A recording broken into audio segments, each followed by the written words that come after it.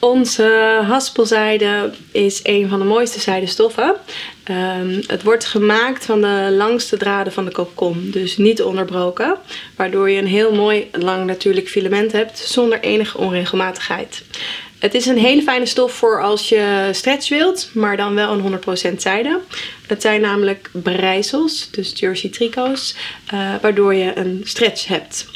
Het is een weldaad als je een beschadigde huid hebt. Bijvoorbeeld door eczeem, brandwonden, bestraling. Um, het sluit eigenlijk naadloos aan op je, op je huid.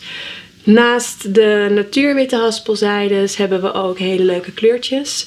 Ook fijn om babykleding van te maken tijdens je zwangerschap als een uh, bandeau om je buik te dragen. En um, het, het leuke is van die haspelzijde dat als je een halve meter neemt, het is namelijk rondgebreid. Dat je ook met een halve meter uh, een hele mooie tunnelsjaal kunt maken. Het is minder geschikt om op te filten. Het is minder geschikt om op de zijde schilderen. Je kunt hem wel gebruiken voor bijvoorbeeld de magnetontechniek.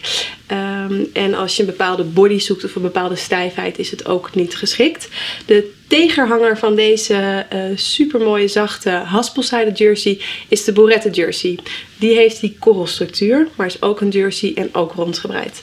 Dus twee totaal andere uh, type zijde stoffen. Um, maar uh, een, een aanradertje, de haspelzijde.